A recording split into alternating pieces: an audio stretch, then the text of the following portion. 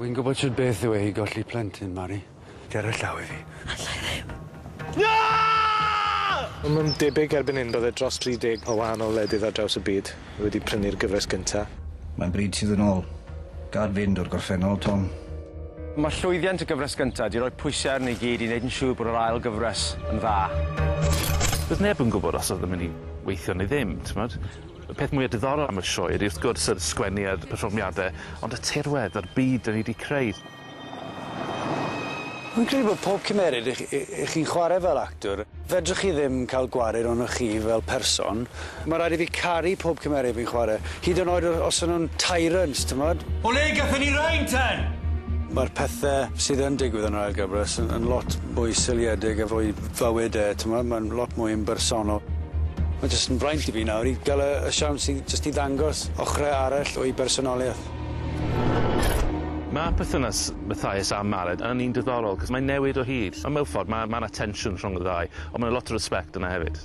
O'r dechreuad, oedd y cymeriad yn gryf, a o'n i'n dwli ar y ar y ffaith bod hi'n dod o'r tir bod hi'n ferch lleol bod hi'n nabod y cymdogion bod hi'n nabod y tirwedd.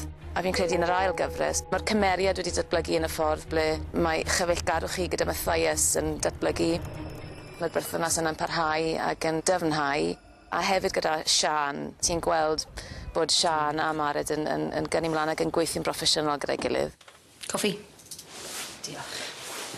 Ni falle'n gwybod llai am cymeriadau Sian Owens a Lloyd Ellis. Ni yn dysgu chydig mwy amdani nhw wrth bod yr ail gyfres mae'n mynd yn ei flan.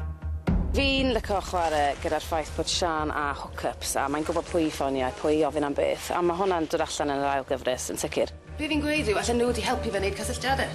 Hynllef Sian fydde bod pobl yn gwaith yn gwybod beth yw i bywyd hi tu fas i'r gwaith.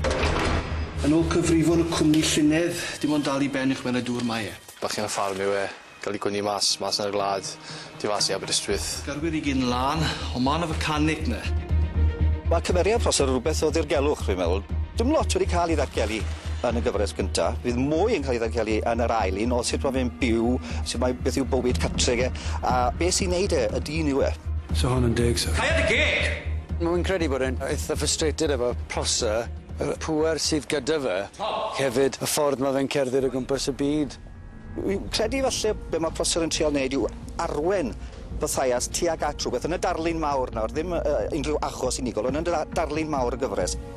A wel ti siapio pwy de? Ma' fe'n tueddu gadw Mared lawr dwi'n meddwl dwi'n rhoi digon o gyfle iddi ddatblygu. Ond dwi ddim moyn sefyll lan iddo fe gormod achos mae'n ofn cael ei diswyddo. I swydd i'r peth mwyaf pwysig yn y byd. Action! Mae'r gwallt malu chydig yn hirach tro yma.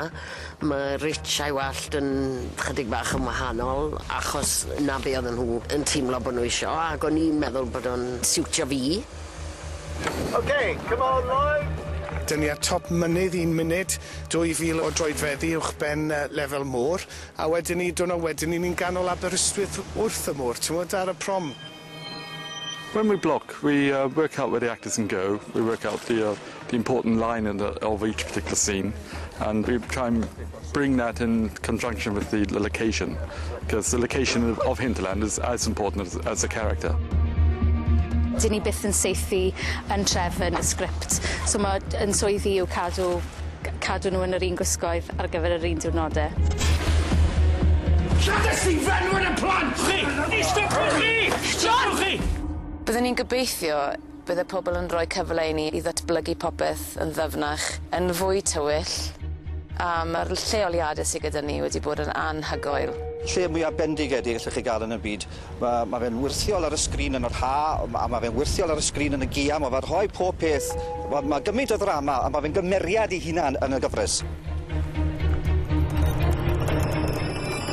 Y Gwyll, bob nos i lam naw ar S4C.